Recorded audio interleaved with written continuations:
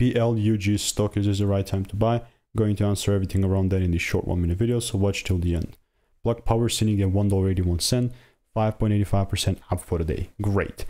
I would not necessarily randomly start buying here. More so, how I'm looking at Plug Power is just, um, you can see we just came back into this demand zone.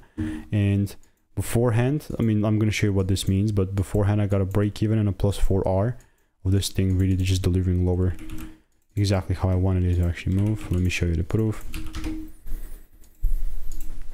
From the one hour chart to the downside, only then I'll be bearish. That's when it was called out like a month ago, 17th of July. After that delivered. The only case, because I'm like observing it from a broader picture, is I want to see a double break above here, and then I'm really open to that buy. So it's really just going to be me waiting, and sometimes that's exactly all there is to it. So yeah, I'll keep you updated. If you want to learn the strategy that I'm using for free, check the first link in the description. All reviews are five stars.